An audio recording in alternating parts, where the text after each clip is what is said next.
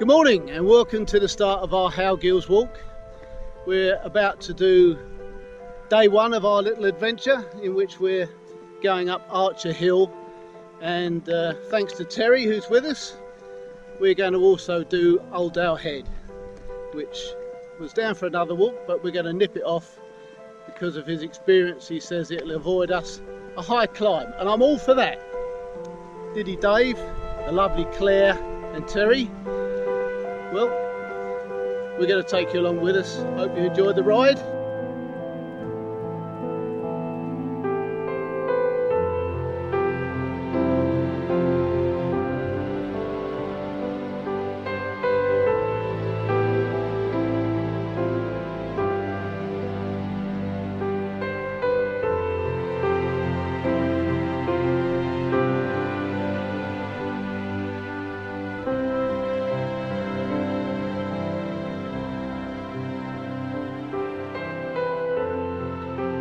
Obviously, we would have preferred to complete the Howgill Fells as per Wainwright's book, but living so far away in Southend-on-Sea in Essex, sadly it was just not feasible for us to do his 25 walks over these lovely green giants. For our first adventure in this new area for us, we had a nice, easy, pleasant six mile walk planned, taking in the fells covered in chapters 12, 13 and 14. Starting from Carlingill Bridge, we head up the path that runs above and parallel with Weasel Gill, keeping Carlingill Beck to our right. Arriving at the base of Archer Moss, we head southwest to Uldale Head. Then, turning north, we walk over an easy grass path to Rispa Pike. Returning for a while by the same path, we turn westwards and then north to Archer Hill and its lovely tarn. We then walk along another arc and we drop onto boggy ground to ascend to Hare Shaw. Following a clear path for a while which ends over Peat Bog, we make for Blease Fell. From here we get great views over the M6 to the Whinfell Ridge in the west and to Fell Head and the Calf in the south. We then descend alongside Grainsgill back to the car at Carlingill Bridge.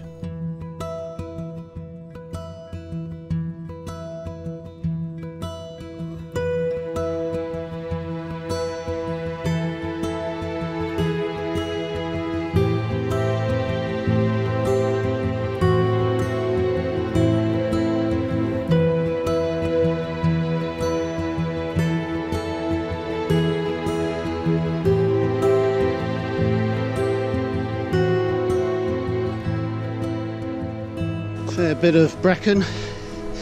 It is June, of course, so uh, to be expected. Hopefully, not too much once we get up a bit.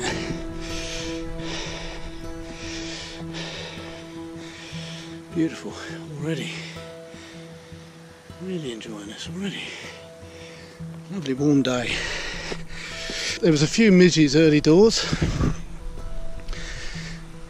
seem to have gone. Need a bit of a breeze, really.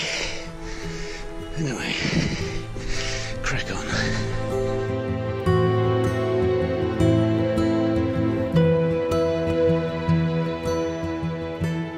It was really wonderful to be joined by Clare again. Her first real walk since damaging her knee on a skiing holiday. And Terry Holden, who has joined the group and used this walk to meet a few of the team. Only time will tell if we've put him off walking with us again.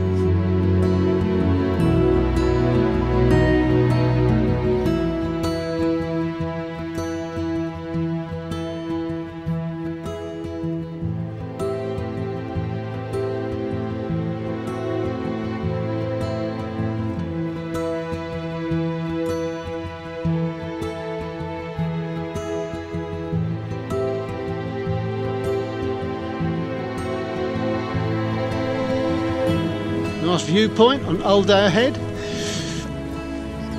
Very nice it is too.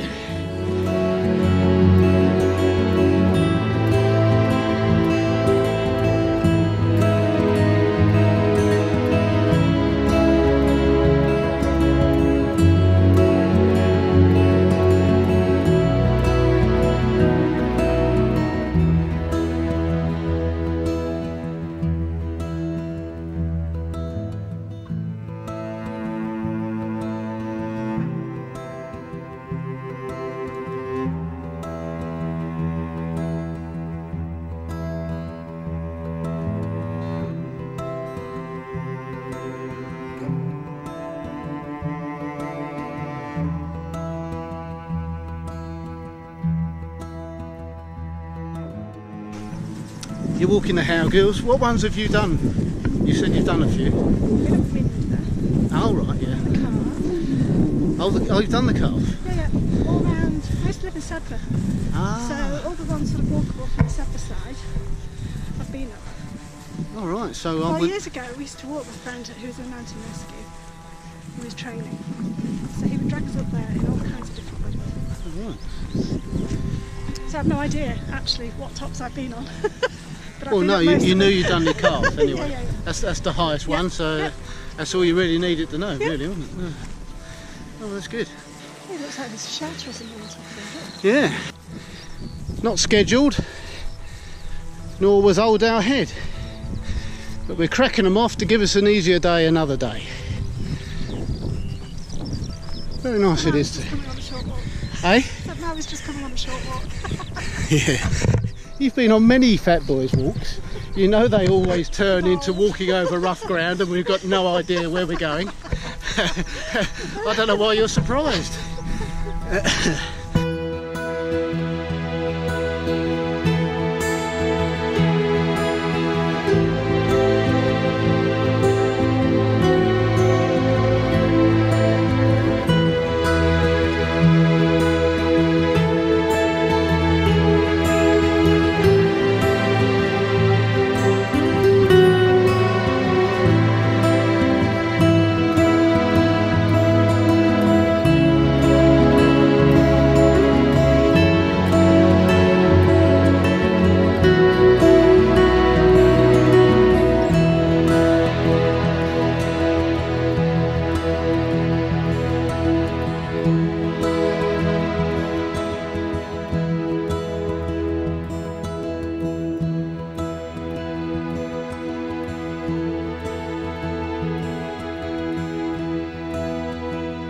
Peaceful place to take a break, as you can see. Just the sound of the skylarks. Wainwright says of the Howgills, their greatest appeal must ever be to those who love to walk freely over the tops and commune with nature in solitude. There is no better place for doing this than in the Howgill Fells. Bless them.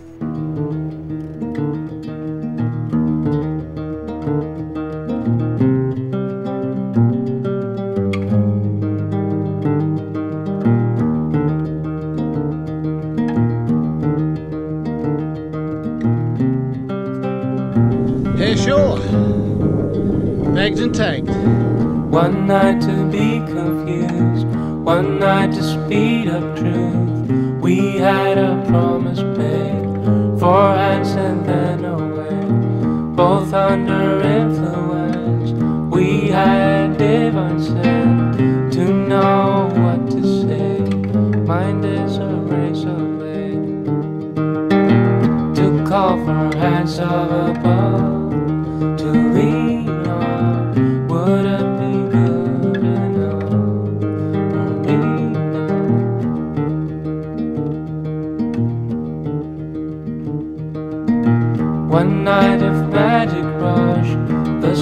a simple touch. One night to push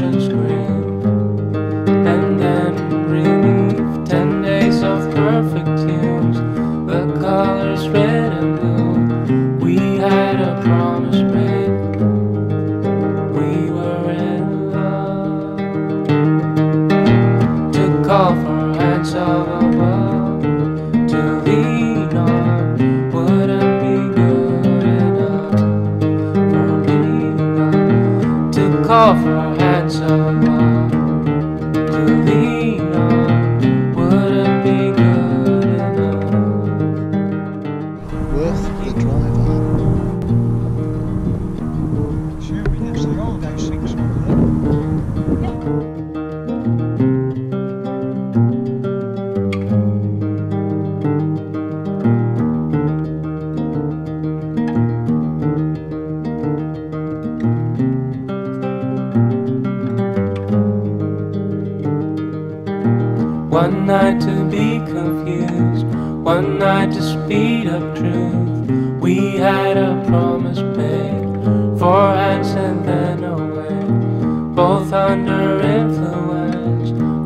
had divine sense to know what to say.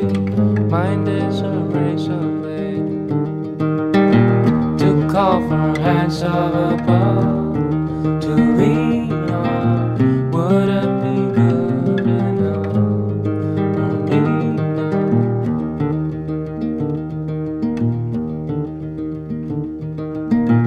One night magic rush, the start a simple touch. One night to push and scream,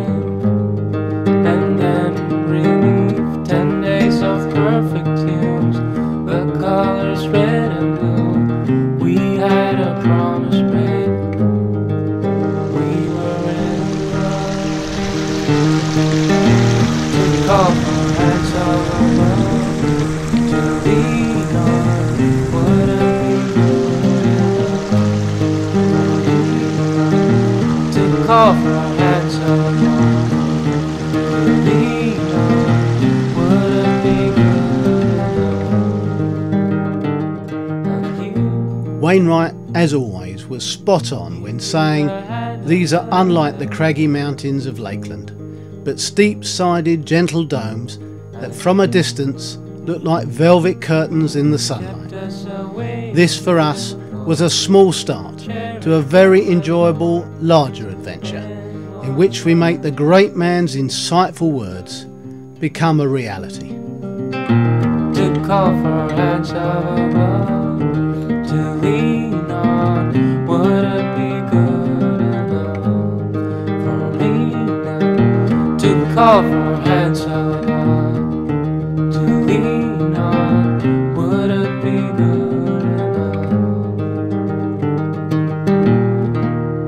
enough? Please check out the other videos on our YouTube website, all 214 Wainwrights captured in video, as well as the outlying fells and various other walks. Thank you for viewing our videos, we really appreciate it. And don't forget to subscribe so you get priority viewing in future. As always, hopefully one day we'll see you out there. Thanks for watching. Cheers.